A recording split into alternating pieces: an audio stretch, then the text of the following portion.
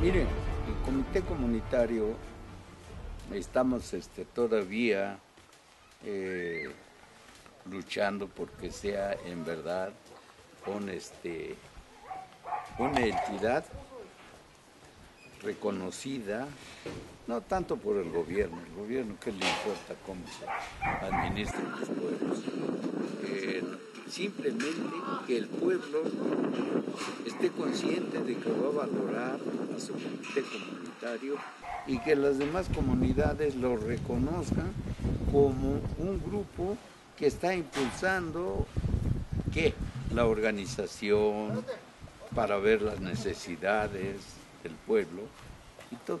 Eso es, es el plan, esa es la idea de nosotros que decimos comité comunitario. Porque aquí está nuestra presidencia. La presidencia es el que gobierna a todo el territorio, este, que son cinco agencias, eh, la Villera, Tejocotá, la Unión, Río Verde y esta que es una cabecera municipal. Entonces son cinco comunidades. Pero eh, el Palacio Municipal es de todos. Sin embargo, cada quien tiene su representante, cada comunidad. Y eso es lo que está, hemos luchado porque se instituya. Y por eso estamos este, eh, haciendo nuestro inmueble, para no, para tener a donde, ya lo dijo el Señor, a donde reunirnos, eh, a dónde tomar nuestros acuerdos, eh, de acuerdo a las necesidades de nuestro pueblo, impulsar el desarrollo, lo que haga falta. Hace falta mucho, pero todo ha sido a base de esfuerzo, trabajo. Y retomo un poco lo del comité, digo lo del tequio. El tequio es ancestral. El tequio hace desde, eso viene desde los mesoamericanos y luego viene de, de ahí, viene a través de la conquista española, seguimos conservando el tequio. Es un trabajo comunitario gratuito. Aquí nadie cobra por venir a hacer un trabajo. Claro que no diario. Se acuerda, tal día va a haber un tequio, tenemos que reunirnos todos por todo esto que el gobierno ha hecho, que nosotros nos sientamos este, de otro mundo, eh, como que estamos perdiendo la esencia de, que nosotros somos de un pueblo. Este, este pueblo tiene un territorio, está reconocido por otros pueblos, por otros pueblos. Pero el gobierno lo que quiere es que nosotros estemos aquí con nuestro pensamiento, de que nosotros no somos, no tenemos territorio, que no tenemos derecho, que nos rigen las leyes, eh, la constitución del Estado, la constitución federal, la ley. Y no negamos estar dentro de un régimen de ley, pero que nos respeten porque también nosotros somos pueblos originarios. No, no, no venimos, no nacimos ayer. Esto tiene muchísimos años. Entonces, por eso aún defendemos nuestro territorio, nuestra identidad, nuestra forma de ser, nuestra forma de actuar.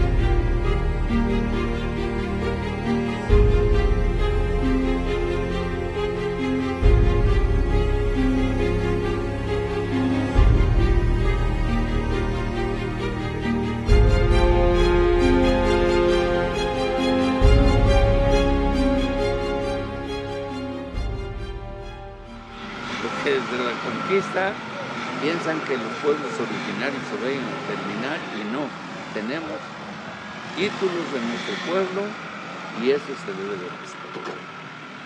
así está. Tenemos recursos naturales dentro de nuestro territorio y también eso debe respetar, aunque curiosamente nuestra agua, que lo administra con agua, y otros, otras entidades ¿no? de gobierno que vienen y deciden, no, pues nosotros decimos, este es mi río, y este, el pueblo es el que decide sobre su río, sobre su agua. Pero esa es una lucha que estamos dando a través de los pueblos indígenas. Pero tenemos la esperanza de que se nos siga respetando. Sí, somos mexicanos, estamos en la globalidad, pero también que se nos respete como somos y quiénes somos. Pero aquí ya retomamos usos y costumbres, aquí se elige nuestra autoridad, nosotros en las comunidades vienen nuestros elementos y que gobiernen, este es nuestro municipio. ¿Cuál es nuestra prioridad? Que no desaparezca el municipio, porque lo poquito que nos dan el gobierno federal, y como cada vez somos menos, y el criterio que utiliza el gobierno federal es que ¿Cuántos son los que viven en San Bartolo Pep? Ah, pues que son 100. Ah, pues ahí va este recursito para esos 100. ¿Para qué chingas quieren más? ¿Para qué quieren más si es un pueblo fantasma ya acabando, acabado? No. Entonces, ahí está nuestra desventaja porque ya somos pocos. Por eso aquí en nuestro municipio llega una miseria de recursos del gobierno federal. Pero aún así eso, el municipio se preocupó de repartirlo en las comunidades para que por lo menos tenga un poquito para ver qué hacen aquí. ¿Cuánto recibe aquí esta comunidad? 11 mil pesos. Y hay comunidades más chicas que reciben 8 mil.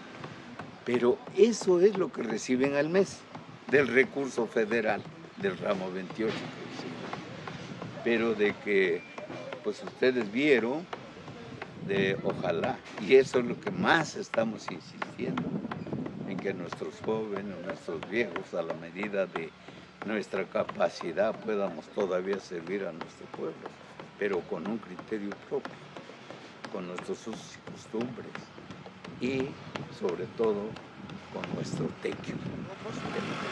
Nos atrevimos de formar un comité comunitario para impulsar las obras, para trabajar y para, pues también podemos decir, para transformar. Y de eso eh, estamos viendo los grupos.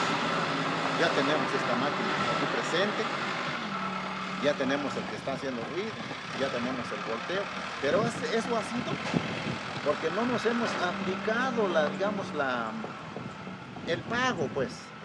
No nos hemos aplicado el pago. Que tú vete a cargar piedra. Se tomó un refresco al Señor y ¿sabes qué? Gracias. Pero como ya es una costumbre que está establecida aquí, pues nadie dice, a ver cabrón, tú ya fui a trabajar, ahora págame. Pues no, porque ya estamos acostumbrados. Por eso está creciendo. Eso está creciendo. Está creciendo el comité y está creciendo sus equipos. ¿Y en la comunidad? Y la comunidad. Entonces, hasta ahorita estamos contentos. Claro, ahora sí la autoridad municipal pues ya no nos ve con ojos bonitos. ¿Por qué? Porque dicen, bueno, como que nos está rebasando, pero nosotros no le estamos rebasando a nadie. Nada más estamos trabajando nosotros mismos y con nuestros propios medios.